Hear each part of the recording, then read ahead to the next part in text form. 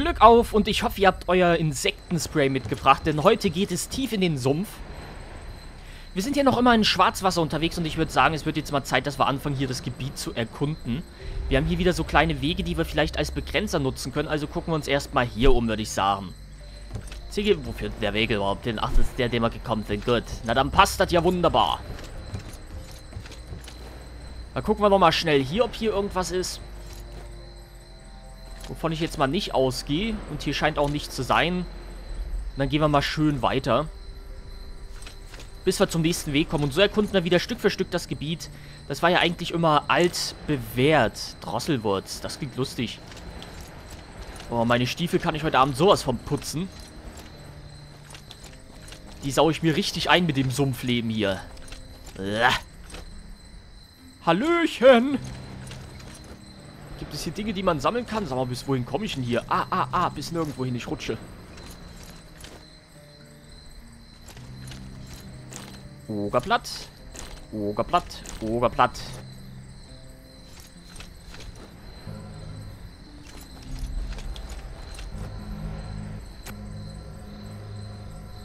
Was sind das immer für komische Geräusche hier? Da kriege ich ja Angst.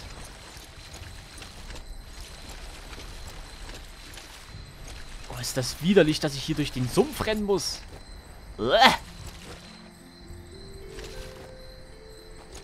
Oh, hier wächst was Hübsches. Ah, Warane. Ich hätte es ahnen können, dass hier solche Biester sind. Oh, shit. Ah, ah, ah, ah.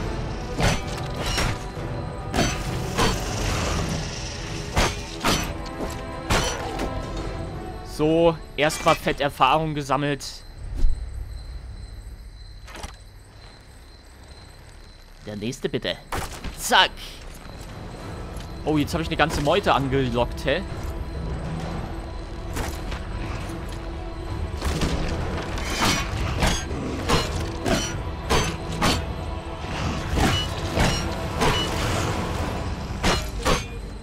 Komm schon. Gut. Was ist los? Au! Keine Fernkampfattacken. Das ist unfair.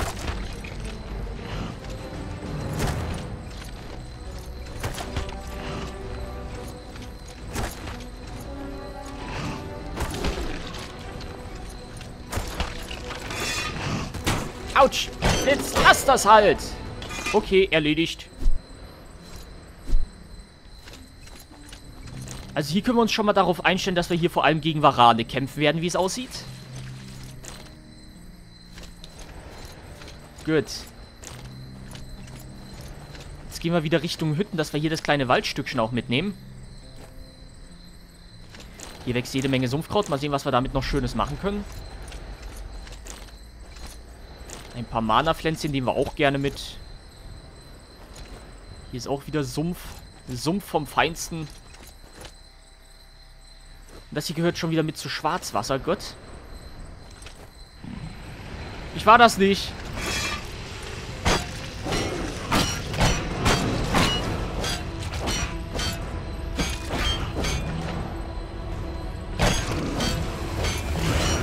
Zack. Der kam nicht mal zum Angriff. Ich bin gut. Oh, da ist noch einer. Habe ich gerade so ganz spontan gesehen. Zack, zack. Zack. Zack, zack, zack, zack. Zuck, zack, zang. One, two, zack, uah. Gut, also mit dem Waran komme ich eigentlich ganz gut klar. Die sind nicht so schwer. Die sind ganz fein. Ganz feine Gegnerchen sind das, ganz liebe. Ganz, oh, das ist eine Höhle, da kriege ich Angst. In Höhlen hausen immer Höhlentiere und Höhlentiere... Oh, lass mich in Ruhe. Wie viele von euch gibt's denn hier? Ich meine, ich finde es ja schön, Erfahrung zu bekommen, ne? Aber ich bin ja hier einfacher Wanderer, Mensch. Ich wollte die Gegend erkunden. Und zwar in Ruhe.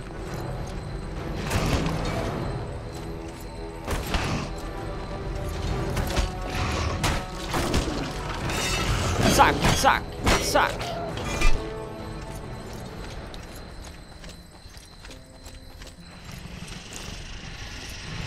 Willst du Ärger haben? Kannst du haben.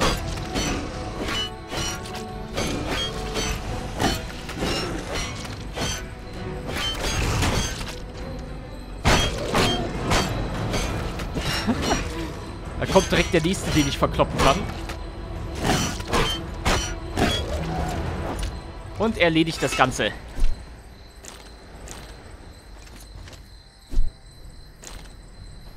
Aber ich habe schon Respekt davor, ne? Ich habe hier ganz schön Erfahrung jetzt schon gesammelt. Weil die Biester ganz schön Erfahrung auch bringen. Und es gibt auch so viele von denen.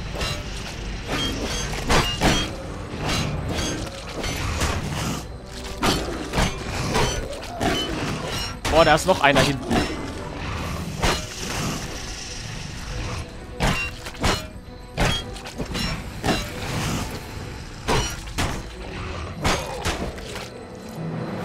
So.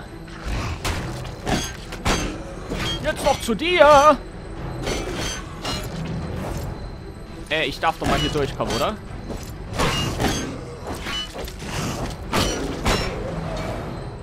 So. Jetzt brauche ich doch mal eine kleine Bandage und am besten noch eine hinterher. Weil die haben jetzt doch ganz schön zugelangt. Wo ist denn der andere? Hier.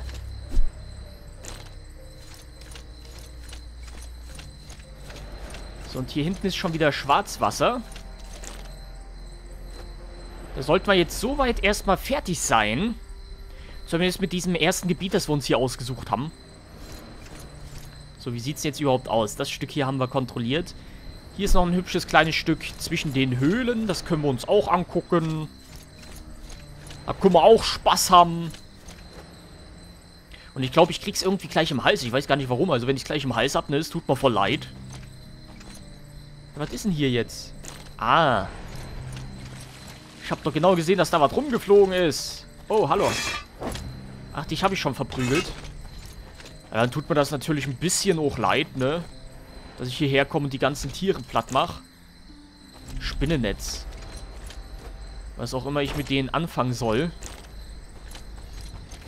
Hey, da oben ist noch eine Höhle. Das ist ja mal Spannung pur. Und das hier ist der andere Weg, ne?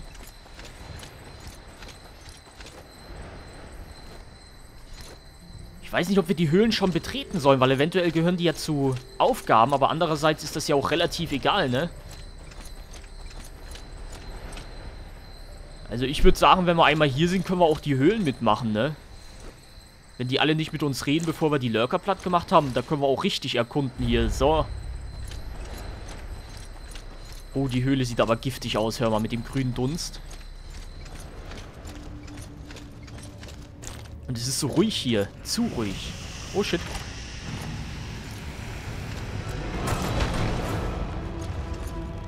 Verschwinde. Da fällt mir ein, ich habe ja noch das Bolzenrezept. Das wollte ich mir mal anschauen. Ah, nein, falsche Tasten. Nicht gut. Boah, Respekt.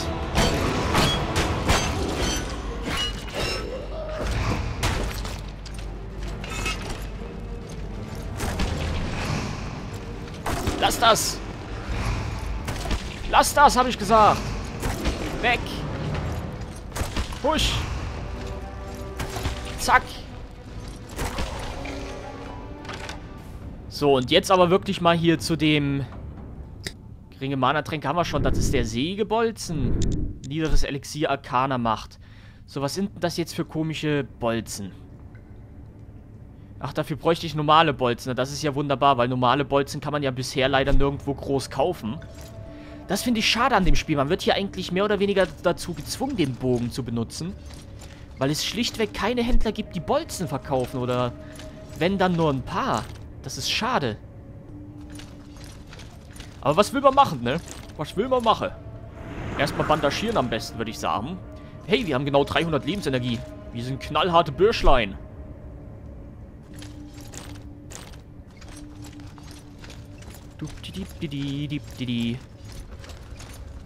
Voll die verworrene Höhle. Da weiß ich gar nicht, wo ich zuerst lang gehen soll, ey. Ich probiere es mal hier oben.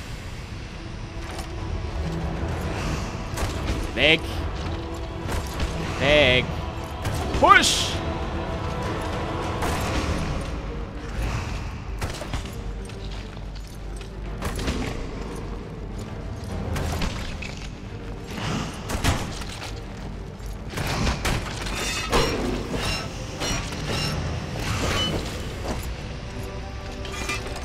Na, na, na, du wirst mir doch wohl nicht zu nahe kommen wollen. Ah, ah, ah.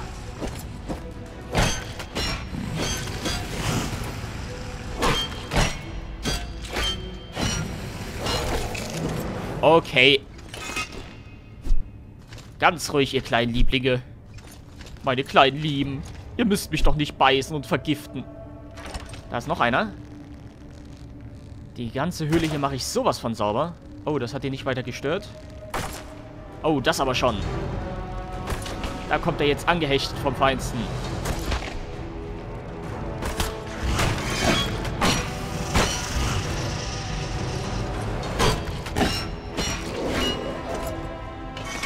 Und tot ist er. Schattenhäuptlinge, die nehme ich auch mit. Da haben wir noch, eine, noch ein Kohlevorkommen. Oh, hier ist auch irgendwas, hä? Habe ich da gerade was gesehen? Nee, gut. Man kann sich auch mal täuschen, ne? Das ist eine ganz schön große Höhle hier, Mensch. Wo war denn überhaupt der Eingang? Der war hier. Wir sind hier lang gegangen und hier ist jetzt unser erster Scheideweg. Wenn wir hier lang kommen, kommen wir wahrscheinlich hier oben wieder raus. Also würde ich zuerst hier lang gehen. Das sieht auch so aus, als wäre das ein Endstationchen, ein Sackgässchen. Können wir ja mal schauen, ne? Was da Sache ist. Schattenhäuptling. Hauptsache hier ist nichts, das uns töten will. Oh, doch.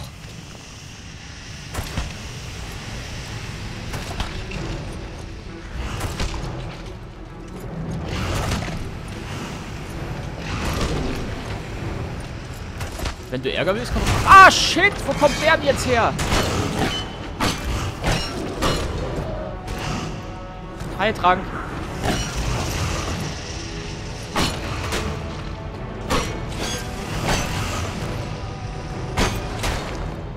Komm schon, wieso kriege ich immer an der Seite Schaden? Okay. Jetzt haben wir dann noch einen Fernkampfbürschli. Au. Der uns auch ganz schön hart rannehmen will.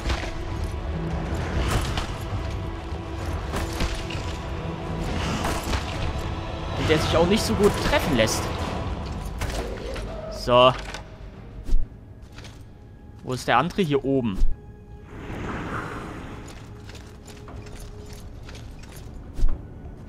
Eine spannende Höhle ist das hier, Leute. Eine spannende Höhle voller Überraschungen und todbringender Gestalten. Und wir nehmen alles mit, was wir kriegen können. Und hier steht irgendeine Truhe. Darin finden wir eine Einhandwaffe Streithammer mit 24 Schaden. Der ist, glaube ich, besser. Ring des Mystikers brauche ich aber nicht. Ein Diamant und Gold. Ja, unsere Axt macht 23. Der Hammer hier, der macht einen Punkt mehr. Also kloppen wir jetzt schön mit dem großen Hammer drauf. Machen wir mal einen auf Bob, der Baumeister hier. Boah, der sieht schick aus, der Hammer. Der tut bestimmt ordentlich weh, wenn man den an den Kopf kriegt. Und mit meinem Sackgassenprinzip hatte ich ja jetzt voll recht, ne? Jetzt können wir nämlich in den anderen Stollen reingehen. Man kennt die Höhlen in diesem Spiel halt irgendwann, weil die alle relativ gleich aufgebaut sind. Gibt es hier noch irgendwas? Ne. Nur noch ein paar Pilzchen und da ist noch ein Vorkommen. Nehme ich auch mit. Falls man es mal gebrauchen kann für irgendein Rezept. Ich habe da was glitschen gehört. Ich mag Glitchgeräusche nicht. Aber ist doch eigentlich recht friedlich. Oh, ein vergessenes Grab. Oh, hier finden wir aber einiges. Mors Mortis. Eine Belia-geweihte Henkersaxt. Wie sie in den Sumpf geraten ist, wissen nur die Toten. Ein Hieb mit dieser Axt hat eine Wahrscheinlichkeit von 20%, den Gegner für zwei Sekunden mit Blitzen zu lähmen, die 90 zusätzliche Schaden verursachen. Wenn das Opfer bereits schwer verletzt ist, wird es durch die Axt hingerichtet. Wow. Rune der schnellen Hand. Diese Rune erhöht die Reflexe des Anwenders und erlaubt ihnen, die Welt wahrzunehmen, als würde die Zeit langsamer verstreichen. Die Rune klingt doch eigentlich gar nicht mal so schlecht. Wo habe ich es denn? Hier bestimmt, ja. Bei vielen Gegnern ist das bestimmt ziemlich nützlich, wenn alles ein bisschen langsamer läuft. Außer man selbst.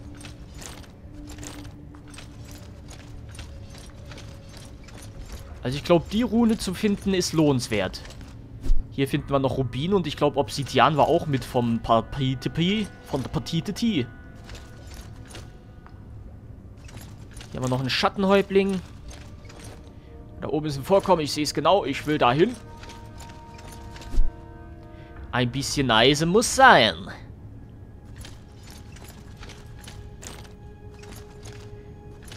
Und jetzt würde ich sagen, probieren wir die Rune mal aus. Mit der 8.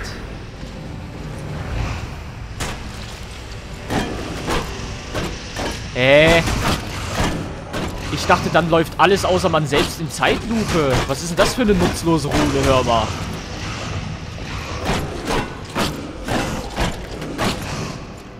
Die Rune ist für den Hintern. Oh oh.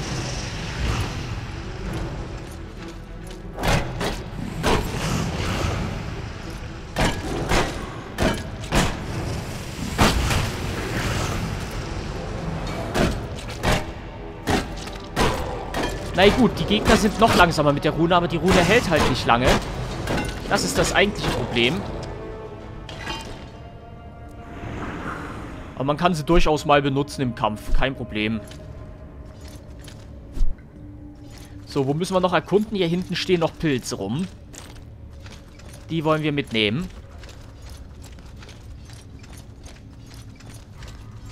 Das Vorkommen nehme ich auch mit.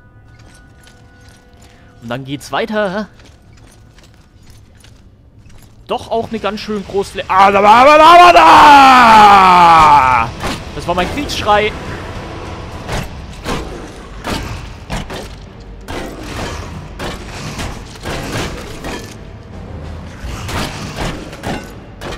Zack, zack.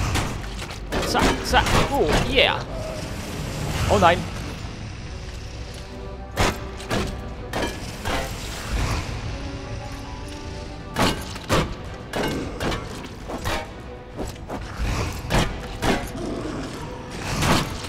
Könntest du auch gerne sterben.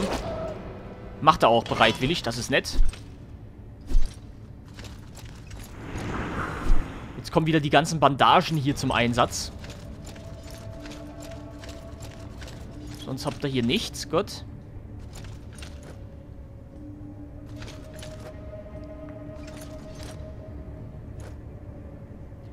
Da sind noch mehr von euch, ich sehe es.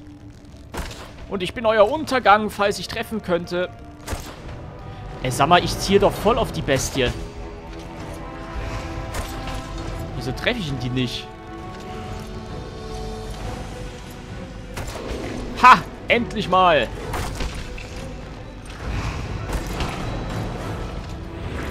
So, jetzt probieren wir es mal nochmal. Also ich finde diese Rune trotzdem irgendwie recht sinnlos, wenn ich das mal sagen darf.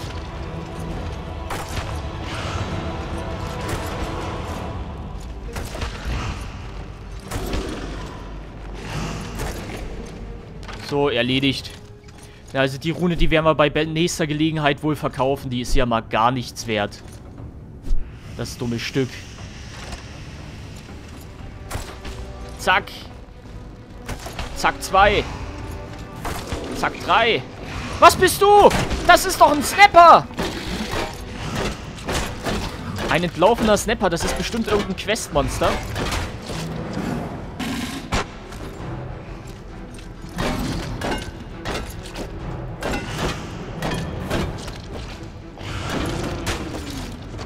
So, und was kriege ich von dir? Reißzahn eines Snappers. Alchemistische Zutat. In der Hoffnung, so flink und wild wie ein Snapper zu werden, haben sich von Urzeiten primitive Völker von auf Agan Snapperzähne durch die Haut gebohrt. Aua. Ihre Nachfahren haben zur Überraschung entdeckt, dass die Zähne zermahlen und als Trankverabreich tatsächlich eine derartige Wirkung aufweisen. Na, ich habe doch alles genommen. Mach zu. Äh, wollt ihr mich jetzt flachsen? Ah, es passiert was. Au! Hilfe! Du kannst doch nicht einfach nicht mehr zugehen und dann doch zugehen und mich dann so eine Attacke aussetzen. Da krieg ich doch Angst.